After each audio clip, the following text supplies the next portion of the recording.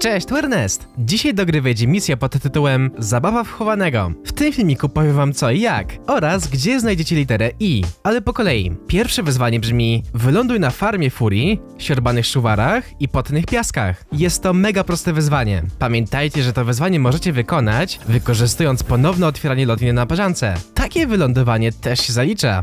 Drugie wyzwanie brzmi Zbierz 500 sztuk drewna, 400 sztuk kamienia i 300 sztuk metalu. To wyzwanie też jest jasne i proste. Nie trzeba tego zrobić w jednym meczu, więc chyba nic dodać nie muszę. Trzecie wyzwanie zleca nam zdobyć trzy likwidacje na farmie furii lub potnych piaskach. To wyzwanie będzie można wykonać z łatwością na naważance. Farma furii jest niedaleko środka mapy. Z tego powodu busy bojowe obu drużyn będą miały tor lotu obok tej miejscówki. Na solo i innych klasycznych trybach też tam lata dużo osób.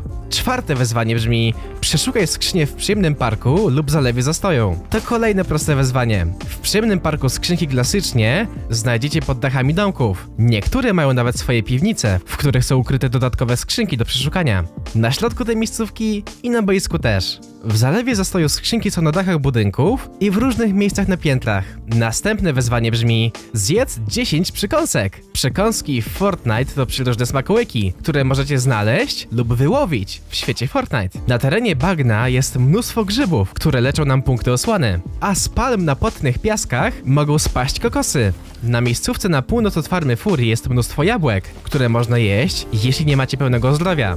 Z wody za to możecie wyłowić na rybki i łyby. One też powinny się zaliczać jako przekąski do tego wyzwania. Kolejne wyzwanie zleca nam zadać obrażenia przeciwnikom przy użyciu kilofów. No i słuchajcie, naparzanka też jest dobra do tego wyzwania, z racji, że możemy w dowolnym momencie polecieć w każde miejsce. W klasycznych trybach duo lub oddziały możecie kogoś powalić i dobić z kilofa. Na solo pozostaje chyba tylko walka na dachach o domek.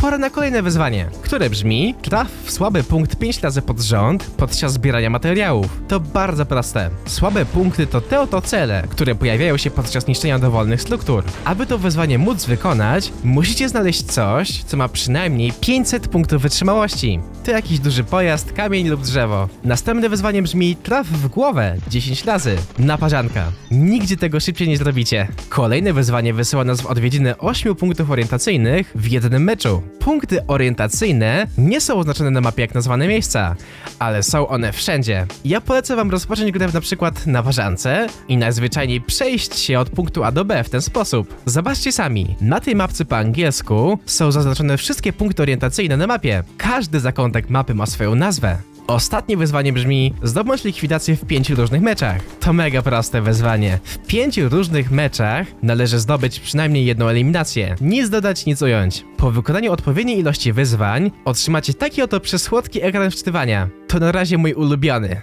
No spójrzcie na niego. Ale dobra, skrywam lokację literki I w dokładnie tym miejscu. Na wyspie w grze ta literka pojawi się w czerwonej stodole na farmie Furii.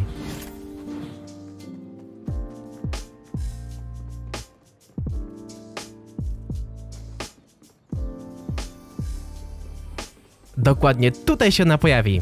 I to tyle. Ja już dziękuję za oglądanie i do zobaczenia w busie bojowym.